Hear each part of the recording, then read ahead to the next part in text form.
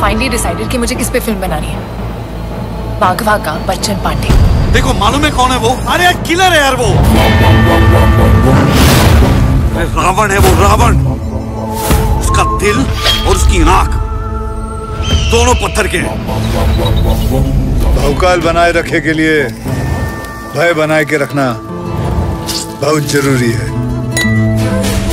Catch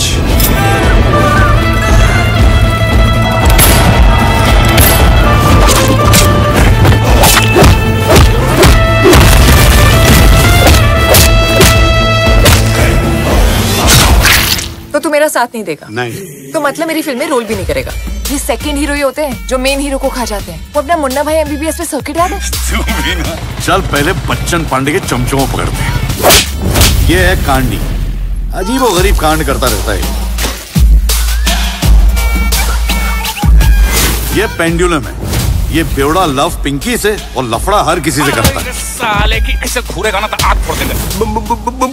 ये बफ बफ बफ बफरिया चाचा है। मिरिंडा माजा। का पिए मरिंडा? या माजा? मदर। ए मैं बच्चन पांडे से डायरेक्टली बात करूँ क्या? ज़्यादा लपर टपर किया ना यही गाड़ देंगे। मैं बस आप पे फ़िल्म बनाने आई थी। जैसे वो सत्या सरकार गैंग्स ऑफ़ वैसे बच्चन पांडे अब तक आपने कितने लोगों को मारा? आपका पचास हम सबका बीस। टोटल सत्तर हो गया भैया जी। और इन दोनों को मारे होते तो बहत्तर हो जाते। और ये हमारे गुरु जी हाँ? हावेस भोपलो बहु मज़ा आओ से मायरा इन पत्थरों को तराशने में। सफ़ेद पत्थर काला पत्थर ये ग्रेनाइट। गुरु जी का आशीर्वाद नहीं लोग? जस्ट अ टच है? मायरा क्लिक। इसे कोई आशीर्वाद लेता है? जब हमारे पिताजी कैंसर के लास्ट स्टेज पे थे और मेडिकल वाला पैसे के बिना दवाई देने को तैयार नहीं था हमने हथियार उठा लिया।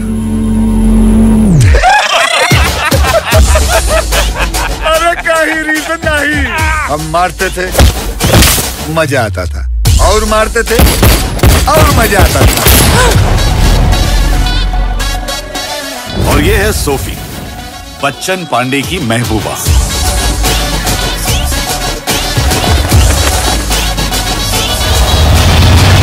उसने अपनी गर्लफ्रेंड को मार दिया।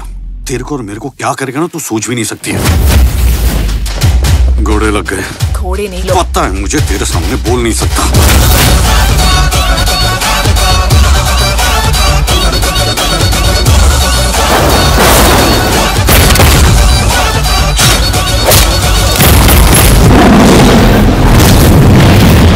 तुम पर नज़र तो हमरा पत्थर वाला आँख ने भी रखा था। प्लीज़ हमें छोड़ दीजिए।